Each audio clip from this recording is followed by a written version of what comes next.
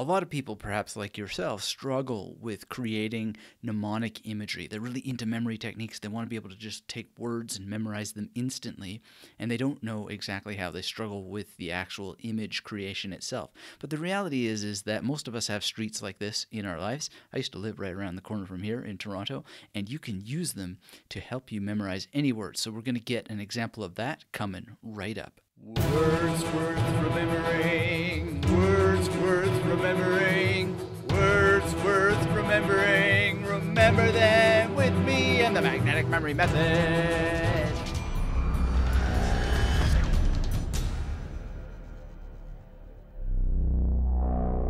So today's word is, and I don't know if I've 100% gotten the pronunciation correct yet, but it's sobra mesa. And I'm not sure regionally in Spanish where exactly you would roll your tongue or not, but I believe a little bit of tongue roll is in order there. And you know, leave me a comment below to let me know if that's right or wrong. And uh, thumbs up while you're at it. I love seeing that you're engaged and you like these videos, and we'll get into a mnemonic example real quick. And you know, let me know in the comments what er, words interest you. What would you like to have a mnemonic example for to help unlock your imagination for creating them when you're learning words? So, what is this sobra mesa? Well, it's after dinner conversation, but I think a little bit more than that. It's that feeling of, you know, just dinner going on and on and on and being really, really super enjoyable after you finish eating and you're just there together at the table. And I was thinking about this word because I just released a new podcast episode on the magnetic memory method with Ollie Richards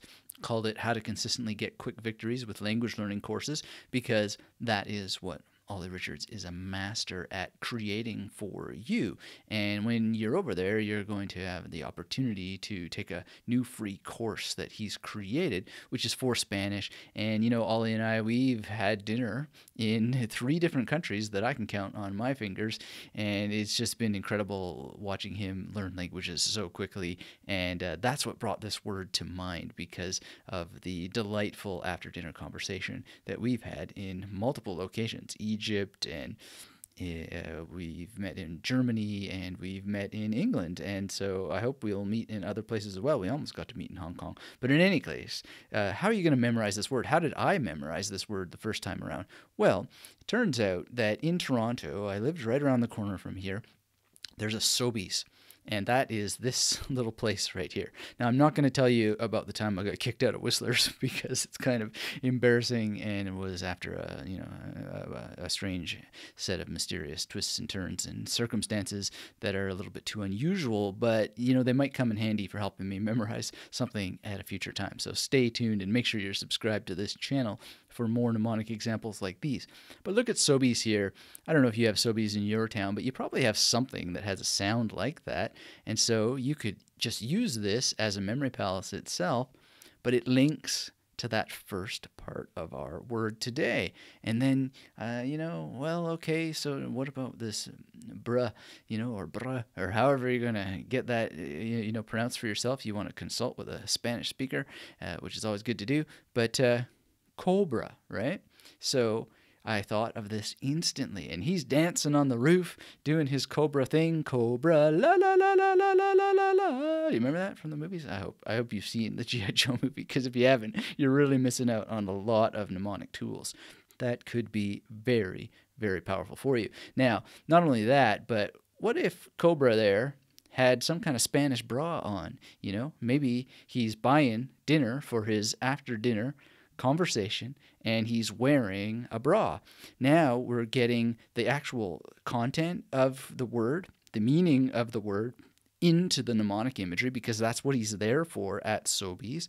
And you know, you maybe have to think of a different store or you have to think of something completely different that has a so sound for you and you have multiple options. If you just start practicing this, you're going to find that association is a muscle that you're using all the time anyway, just like you are using your arm muscles to pick milk out of the fridge and drink it well, you're using association muscles all the time, but if you go and do push ups, then those arm muscles get stronger. If you uh, live, lift dumbbells, do hammer curls, those muscles get stronger. Well, it's the same thing with association. So this stuff can come real, real fast for you. You link it up to words and even phrases that you want to memorize, and boom, you get the sound and the meaning together in the same image. Recall it a bunch of times, or as long as it takes. You know, when you get good at this, it can be two to three times, and you're you're, you're done. You just use the big five of language learning, reading, writing, speaking, and listening, and you know use the actual language you're studying and you can get it in there. And that's true for your mother tongue as well. Reading, writing, speaking, and listening can be quite useful to reinforce whatever you've created images for. So, what about this mesa part or mesa?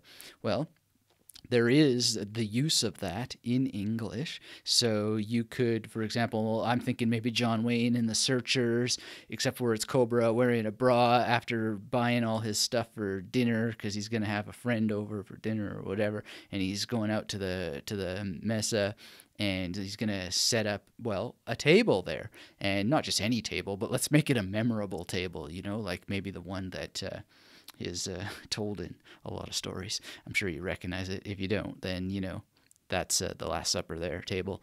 It uh, doesn't have any of the occupants yet, which is a great mental exercise actually to take famous paintings, remove the figures, and then put people like Cobra in there. And, you know, maybe Antonio Banderas is there as well. I don't know, whoever, whatever helps you figure out the sound and the meaning of this word use your associative muscles in your brain, in your mind, in memory palaces. You can use streets in Toronto. You can use streets in New York. You can use whatever you want. But the point of using a memory palace is that it gives your brain an access point, a hook to spatial memory. Spatial memory is usually, for most of us, the strongest memory, the freest resource that we all have. We have this innate capacity to memorize locations really, really well.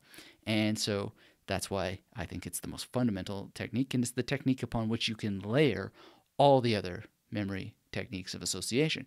Now, the other thing that I would point out here, though, is that you could do this in reverse. So I'm starting with Sobeys here, but maybe you have a friend named Sophie. I happen to have a friend named Sophie, and actually, now that I think about it, her dining room tables in the different houses that I've visited her in are quite interesting. So I could start from there and maybe see John Wayne in The Searchers, you know, having some kind of dinner there, the mesa, and then uh, Cobra can come with his little Spanish-looking bra, and uh, so on, and maybe Sobeys. The, the grocery store doesn't have to be involved at all. So there's options, options, options, but you've just got to simply get in, get started with these techniques.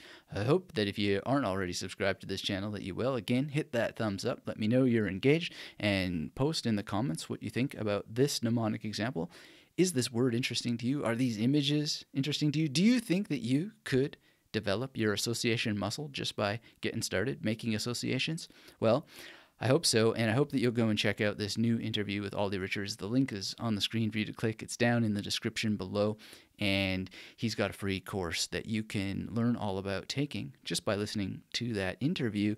And you know, if you're learning Spanish, having associative tools like this could become really, really useful because it maximizes the investment in time that you have. And the short amount of time that I took to explain this, it actually only took me about 2.5 seconds to come up with that mnemonic image. And you can get even faster than that. We know from the memory uh, athletes that you can memorize a whole deck of cards in under 20 seconds. And it's just a matter of practice. Anybody can do it. So Go do some push ups because that's good for your arm muscles, and go do some associations because it's good for your memory muscles. Thanks a lot for watching this. I hope that you subscribe, and that subscribe button is down there. Click that little bell because I sometimes do YouTube lives, and you'll be notified, and you'll be able to join us for a discussion about memory techniques on YouTube. And uh, thank you again for watching this video. I really, really appreciate it. And until we have a chance to speak again, keep yourself magnetic. Words remembering, words worth remembering, words worth remembering. Remember them with me and the magnetic memory method.